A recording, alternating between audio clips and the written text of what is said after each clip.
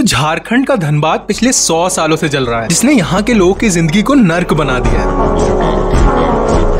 तो ये कहानी शुरू होती है जब धनबाद के आसपास अंग्रेज़ों ने सारे धान के खेतों पर कब्जा करके कोयला निकालने का काम शुरू जब धनबाद बंगाल के हिस्से में आता अब जब कोयले की डस्ट ऑक्सीजन के कॉन्टेक्ट में आती है तो इसमें आग लगने का डर रहता है। और वैसी ही एक आग साल 1916 में शुरू हुई, पर यह आग आज भी जल रही है। और इसकी वजह से लगभग चार करोड़ टन कोयला जल चुका है, और झारखंड के झरिया की ज़मीन को ये खोखला कर रहा है, जिसकी वजह से यहाँ रहने वाले लोग के घर और रेलवे ट्रैक भी खतरे में है अब सरकार इसको बुझाने की कोशिश तो कर रहे हैं, और यहाँ की माइनिंग कंपनीज़ इस जलते हुए कोयलों को सीधे माइन करते हैं।